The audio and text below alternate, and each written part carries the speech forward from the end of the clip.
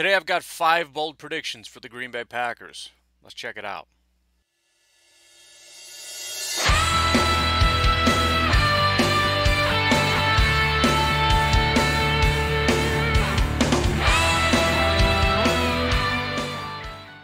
So, for the more observable among you, you can probably tell I'm wearing the same ridiculous shirt again. Um, that's because I'm actually shooting these all same day. But I figured, you know what? Let's uh, let's swap out the silly hat. And I found this little number. It's still got the tags on it, so I thought I'd keep it fresh with the leave the tags on and whatnot, and uh, we'd go from there. If you are interested in the Green Bay Packers, please check out the Packernet podcast. You can find all that information to your left. Those are the places you can go to find the podcast. Um, please check it out. Otherwise, please, please, please subscribe to this channel and hit the little bell notification so you don't miss any upcoming episodes.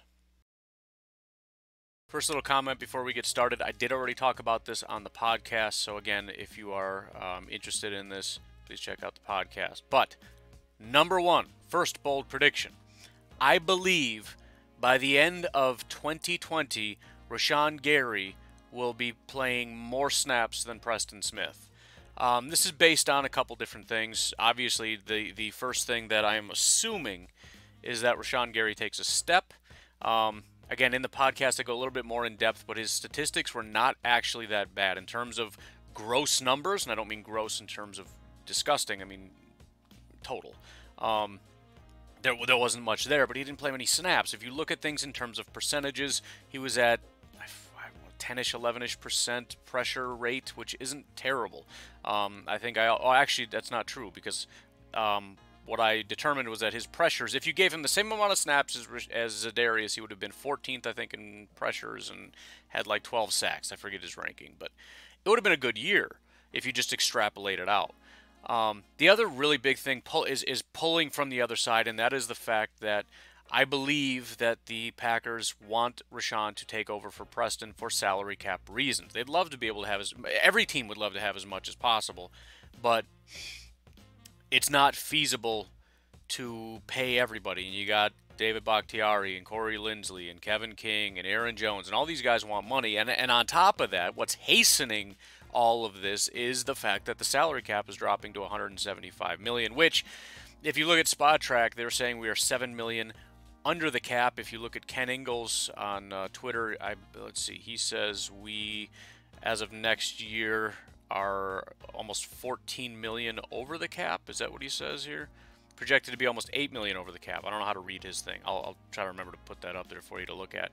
Um, but anyways, um, the salary cap is an issue, and if you look at Preston Smith, we're scheduled to pay him $16 million. The Packers would love to get out of that as much as is possible. Now, we have to pay the $8, $8 million signing bonus. That's We can't get out of that. Um, that is uh, attributed to the cap, so we're going to eat 8 of that. But we can free up uh, 16, and then in 2020, 16.5 is just washed clean. We're not paying any of that. The other slight bonus is the fact that Preston Smith is still a good football player. Um, meaning, not only can we get rid of him, we could possibly trade him.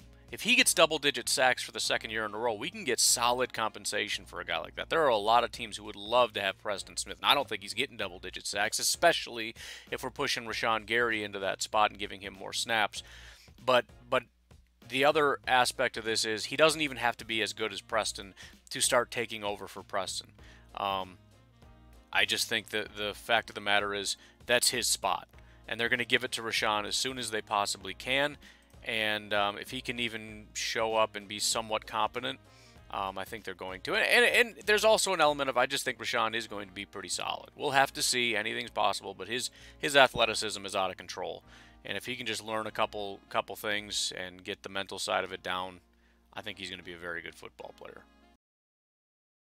Bold prediction numero due. Um, I believe, and it's hard to quantify better, but I believe, let's just say PFF grade wise, Jace Sternberger will be second to Josiah DeGuara. Not in terms of snaps, I'm just talking about in terms of quality of play. I think Josiah DeGuara is going to have a better season. Now, Jace is probably going to have more snaps. He's probably going to have more yards because Jace is going to be the guy that takes Jimmy Graham's spot, who's going to be in the slot. He's going to be targeted more. He's going to be further down the field, all that stuff. The reason I'm saying this is just based on experience. Jace Sternberger spent one year at Texas A&M before coming here. He did not have a lot of opportunities here in Green Bay. So he's still completely raw coming into 2020, and there's no training camp. I mean, there's there's not much going on. There's there's no preseason. You know, so I still think he's going to potentially be a little bit raw. Now he's going to be a little bit further ahead than DeGuara in terms of the specifics of the offense and everything else because Jace has been here. But I think DeGuara, first of all, he's a great fit. If you watch DeGuara, and I, I wasn't a big fan of his um, until after. He, he's one of the guys. The first three picks of the Packers I didn't care for, but the more you watch him, you like. After that, I just I couldn't get on board with it. But the great thing about DeGuara is if you look at the offense that he came from in Cincinnati, it's very similar.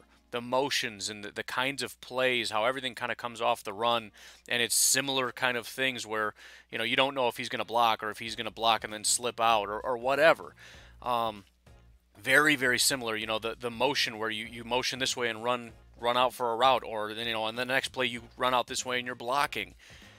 Very Lafleur esque, and he's been there five years, and he's played for five years. He is extremely well versed in how to run this offense and how to do all the little nuances. Now he's still going to have a ways to go, but I just think up here in terms of what he's being asked to do, he's plug and play.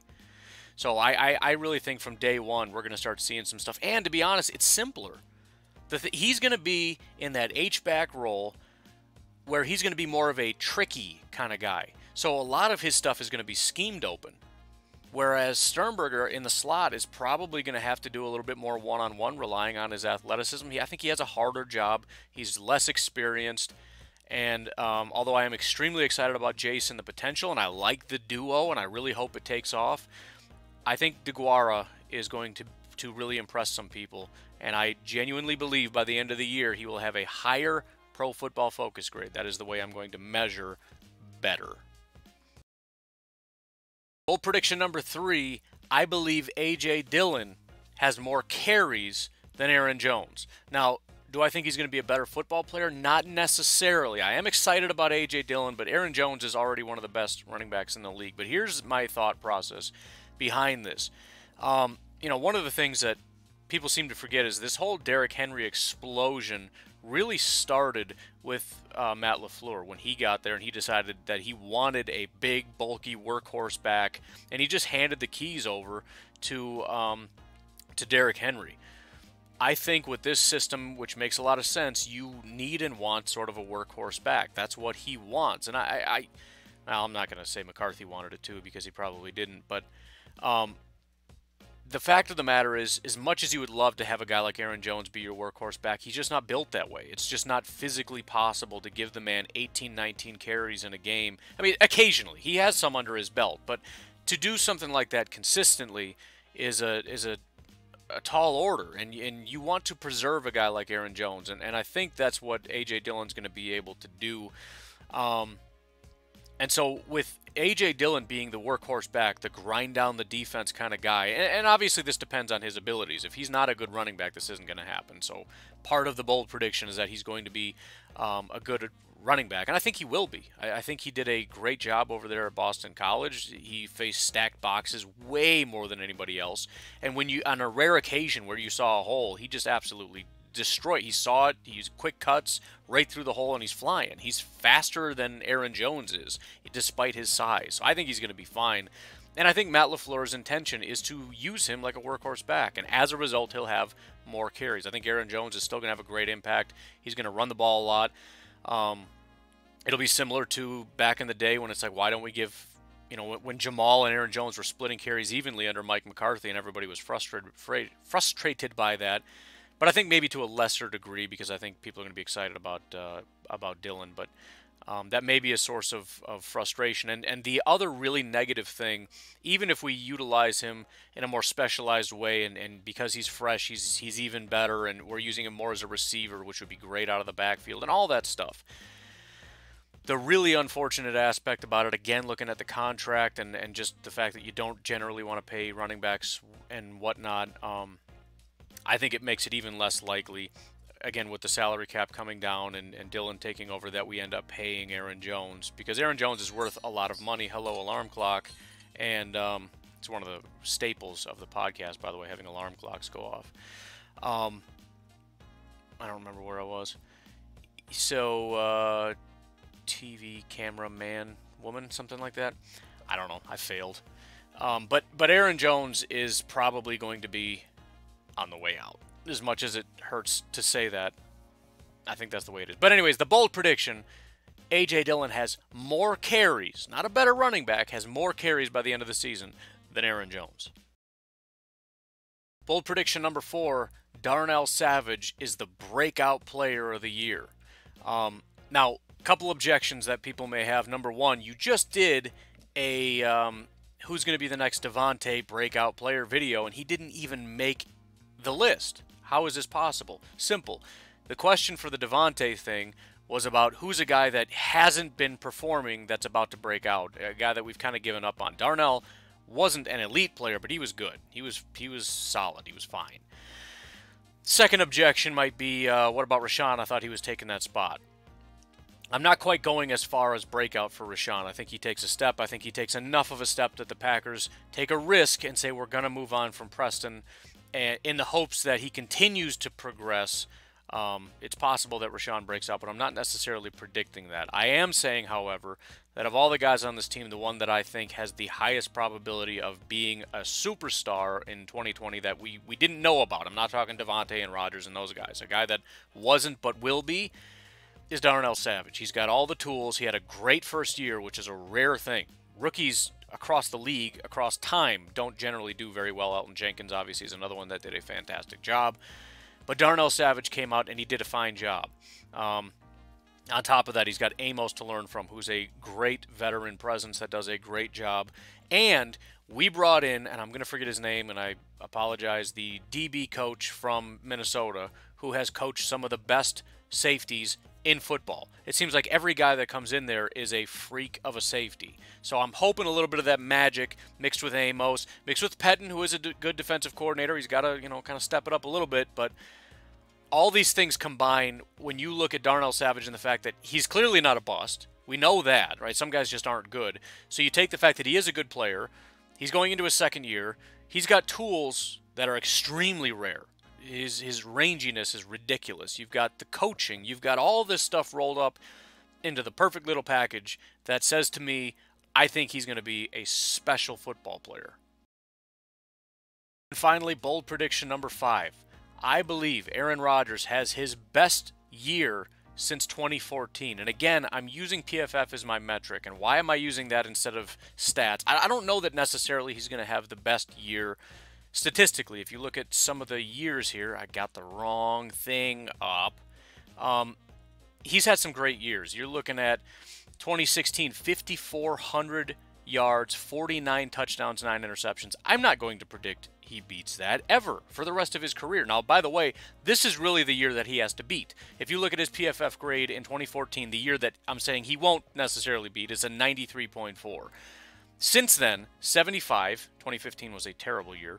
91.4, which is his best year in that range that he's going to have to beat in order for my prediction to be correct.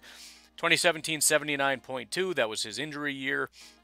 2018, the, the disaster under McCarthy, he was still given an 89 overall grade, which is borderline elite. And then in 2019, 83.6, clearly somewhat of a down year, but still a pretty good year. But you factor in, I, I, I and I've been saying this on the podcast, I think that year two is when the Matt LaFleur scheme takes hold. We saw glimmers of it, but it was still largely the old Mike McCarthy drop back, air it out. I've mentioned several times on the podcast about how Aaron Rodgers' number one route is a go route, and, and just how it's it's still the same old backyard football where he drops back.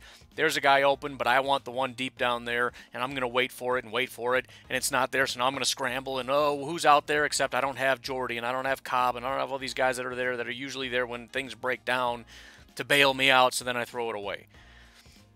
I think Matt LaFleur talked, I know that he talked about melding the two systems I think this year Matt LaFleur needs to take this team by the reins, and I think he will, and say, look, this is my team. I respect what you guys did here in Green Bay, but we're going to start doing it my way. And you're going to start seeing a lot more running the football, which doesn't necessarily help Aaron Rodgers, but running the football and then building off of that. A lot shorter passes. You look at Drew Brees and his ridiculous accuracy, which he's always been very accurate, his completion percentage and all that what and stuff, but he's also now one of the quickest to get the ball out of his hand that helps tremendously for any quarterback, eh, with the exception of Kirk Cousins, who somehow balanced accuracy and, and waiting forever to throw the ball. But um, Aaron Rodgers also is one of the slowest to get the ball out of his hand. And um, also, by the way, little side note if you want to know how quickly um, Matt LaFleur wants to get the ball out of his hand, look at Jordan Love and how quickly he got the ball out of his hand. If he did what he did in college in the pros, he would have gotten the ball out quicker than anybody in, in all of football. That is the goal.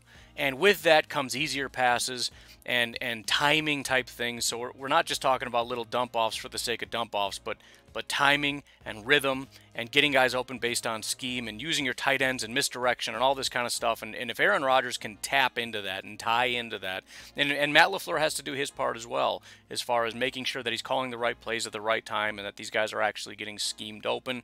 Because with Davante, with Lazard, with Funchess, with Sternberger, with Aaron Jones, and with uh, DeGuara and all that, there's enough talent there that if, if you call the right play at the right time, they, they can make it work, right? You're attacking the soft spot, you're doing this and that and the other thing to catch guys off guard, especially manipulating linebackers with, with them trying to decide on every play is this a run or is this a pass? And every play looks like a run.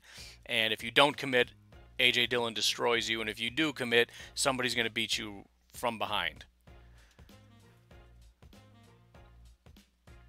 Point is, um, I think Aaron Jones, Aaron Rodgers, if he can tap into it, is going to have a fantastic year. And again, my prediction will be his best year since 2014, which means he needs to do better than a 91.4 overall Pro Football Focus grade, and I think he will.